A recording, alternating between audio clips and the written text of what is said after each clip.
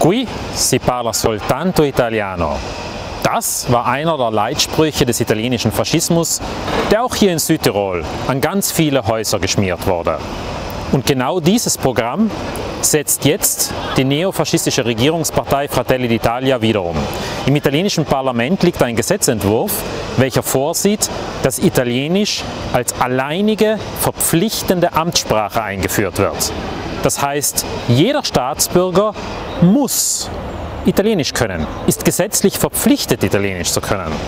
Das bedeutet, dass in Südtirol das Recht auf deutsche Sprache die Gleichstellung der deutschen Sprache komplett ausgehebelt wird. In der Praxis würde das dann bedeuten, dass wenn ein Südtiroler in eine Polizeikontrolle kommt und sagt, ich möchte von meinem Recht, Deutsch zu sprechen, Gebrauch machen, der Polizist antworten wird, Sie sind verpflichtet, Italienisch zu können. Das ist reiner Faschismus. Vor allem auch, weil in diesem Gesetzentwurf Südtirol noch als ausdrückliches Negativbeispiel genannt wird. Sozusagen, die Südtiroler sprechen eine Sprache, die nicht die italienische ist und bedrohen damit die italienische Kultur. Sogar die deutschen und historischen Ortsnamen werden als Bedrohung für die italienische Kultur angesehen. Eine Frechheit. Das können und dürfen wir als Südtiroler nicht durchgehen lassen. Dagegen werden wir uns wehren und das werden wir hier im Landtag ganz klar zur Sprache bringen. Denn diese faschistische Ideologie, die derzeit in Rom gemacht wird, das ist eine Bedrohung für Südtirol, das ist eine Untergrabung der Autonomie und dagegen werden wir uns wehren.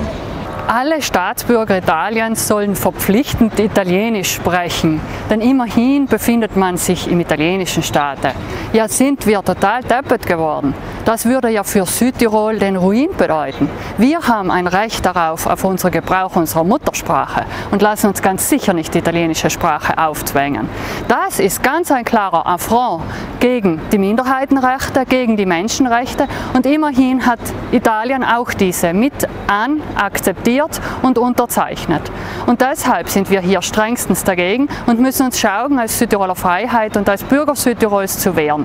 Denn die Landesregierung, die SVP, hat ihren Sinn und ihr Gespür und den Blick auf die Gefahren, die von Seiten Italiens drohen, längst schon verloren. Und aus diesem Grund muss sich jetzt Südtirol selbst wehren. Jeder Einzelne ist aufgerufen, sich zu wehren und zu sagen Nein zu verpflichtenden Italienisch für alle.